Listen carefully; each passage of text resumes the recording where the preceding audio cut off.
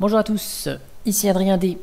Aujourd'hui, mardi 6 septembre 2016, je vais vous parler d'un logiciel euh, sous Linux qu'on croyait mort. Bon, je ne fais pas durer le suspense parce que vous voyez avec euh, le titre de la vidéo, je vais parler de Flash Player. Donc comme vous le savez, si vous êtes sous Linux, la seule possibilité d'avoir Flash Player à jour, pas le vieux Flash Player tout pourri 11, euh, qui est disponible uniquement pour Firefox, c'est d'utiliser Google Chrome. Alors il y a des techniques pour utiliser la dernière version de Flash Player dans Firefox, à savoir Pepper Flash, qui, qui c'est une passerelle en fait, c'est un petit plugin euh, qui fait euh, charger le Flash Player de Google Chrome dans Firefox. On a euh, Fresh Player plugin qui permet de faire fonctionner le Flash Player version Windows dans le Firefox Linux. Bref, ou inversement, je sais plus. Mais c'est vraiment une usine à gaz. Donc, si euh, là vous voyez, hop, je vais fermer quand même les onglets. Ici, je n'ai pas Flash Player. Hein. Donc, je vais aller sur Plus. Je vais aller sur Plus, France TV par exemple, n'importe lequel. Bam On doit installer Flash Player. Donc, si on va sur le site de Flash Player, voilà. Ici, on voit qu'on n'a que la version 11 euh, Linux. Donc, on va taper dans notre moteur de recherche favori, Adobe, enfin même pas, on s'en fout, Flash Layer Beta. Et là, vous allez arriver sur la page ici, labs.adobe.com, qui montre la version 23 de Flash Player. Donc si on va ici, pour la télécharger, on a euh, pour Linux, ici, voilà, je vous mets en plus gros, Flash Player for Firefox et Netscape, donc on a la version 64 ou 32 bits.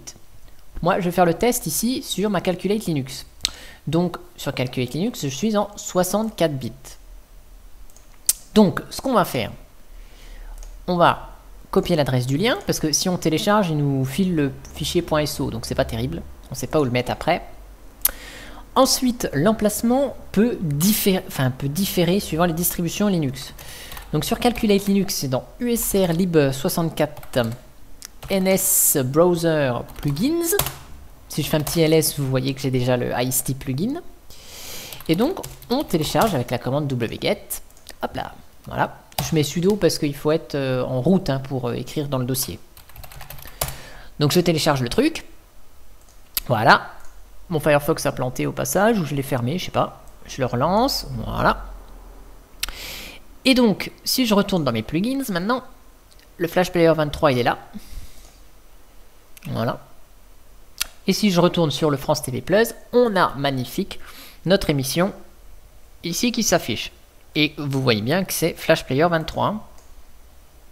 Si on va sur le site, cette fois-ci, il est noté comme 23 installé. Alors maintenant, vous allez me dire, Cool, mais si j'en veux plus du Flash Player, eh ben vous allez voir, c'est pas, c'est d'une simplicité extraordinaire pour le désinstaller. Tout simplement, toujours en route, on supprime le fichier lib flash player. Ah. Alors par contre, il faut bien écrire la commande rm. Voilà. Ensuite, on ferme Firefox. On le relance. Voilà, sur le bon écran, c'est mieux. Et là, magnifique, Flash Player n'est plus installé. Donc si on, retrouve, si on retourne sur Plus France TV, à nouveau, ça ne fonctionne plus. Et voilà. Donc ça, c'est la possibilité d'avoir en natif Flash Player 23, là, enfin en version bêta, je suppose, qui sera bientôt disponible dans nos, euh, dans nos distributions favorites. J'ai ouvert quand même une euh, machine virtuelle Linux Mint parce que d'autres personnes utilisent aussi d'autres distributions. Alors ça, je vais le fermer. Le chemin pour mettre le plugin, il est vraiment différent suivant les distributions. Vous avez vu, là, moi, c'était dans User Lib64 NS Browser Plugins. Chez Linux euh, Mint, c'est dans USR Lib. Donc voilà, on est en 64 bits, mais il n'y a que Lib. Mozilla, Et là, de la même façon, si le presse-papier partagé, ouais, fonctionne, hop, on fait ça. Et donc si on lance Flash Player, euh, Firefox, voilà, ah bah, du coup il y avait une petite mise à jour. On va attendre qu'il se lance. Je vais vous faire la démo aussi sur Mageia. Je sais que beaucoup me lisent depuis Mageia. Là, donc cette fois-ci, dans Firefox de, de Mint, on a lib flash player. Voilà, donc là il fonctionne. Tester flash player. Voilà, hop, regardez, magnifique. On va tester flash player ici. Bam bam bam. Et on a. Euh, alors, tester la version de flash player. Voilà. Version 23 installée. Voilà, donc ça c'était pour Linux Mint. De la même méthode, sudo rm lib euh, flash player pour le supprimer. Et puis pour Mageia, voilà. Donc le chemin de Mageia, ça doit être à peu près le même que, que pour Fedora. Donc le presse-papier bidirectionnel est actif, voilà. Donc CD USR, lib. Donc là, ici, ça va être lib64, je suppose. Mozilla, plugins également.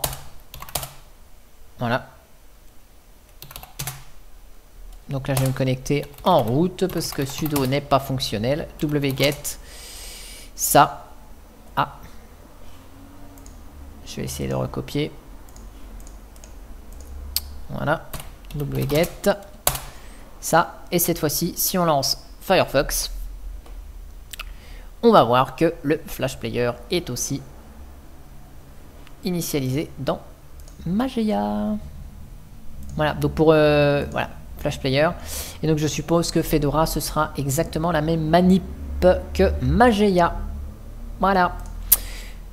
Donc, hop, je ferme ça. RM lib flash player, voilà, s'en fout. Ouais. Et voilà, donc comme ça vous savez tout pour installer Flash Player sur votre distribution Linux favorite. En espérant que cette vidéo vous aura aidé. Alors bien sûr, j'espère qu'elle vous aura aidé, mais moi ça me fera pas utiliser Flash Player puisque je m'en passe depuis plus d'un an. Donc euh, c'est pas pour moi. Mais c'est quand même un sacré retour de la part de Adobe pour Flash Player supporté sous Linux. Alors pourquoi ce retour? Mystère. Sur ce, je vous dis à bientôt pour une prochaine vidéo. Allez, ciao